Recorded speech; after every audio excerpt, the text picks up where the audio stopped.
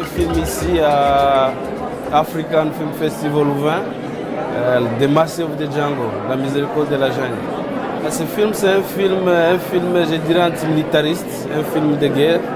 Mais un film euh, là on a des personnages qui vont se perdre dans la jungle, ils vont se découvrir, ils vont se confronter à leurs propres démons, ils vont voyager et faire des choix de vie ou de mort.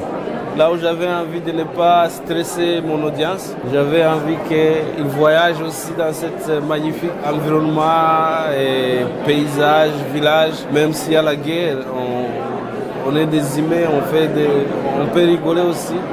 C'est pour ça que c'est un film qui va dans tous les sens.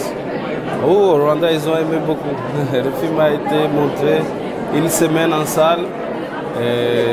Les Rwandais, ils, ont, ils sont venus, ils ont regardé. et il y avait beaucoup de discussions autour du film. Le tournage dans la jungle, c'était, c'était pas facile. C'était physique, mais aussi psychologiquement fatigant. Mais ce qui est bien, toute l'équipe, ils aimaient beaucoup l'histoire, les scénarios qu'on avait envie de, de faire. Tout le monde, chaque jour, il s'est réveillé pour continuer à lutter jusqu'à la fin. On est allé tourner les gorilles dans, dans les films. Moi-même, euh, c'était ma première fois de voir les gorilles. Et c'est eux les rois, et tu ne peux pas même regarder dans les yeux. Et ils ont joué pour nous, ils ont, ils ont réagi, ils ont réalisé qu'on a une histoire à raconter, ils ont réagi.